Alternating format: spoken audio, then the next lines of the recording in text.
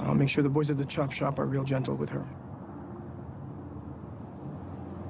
Oh, wait, well, why? No.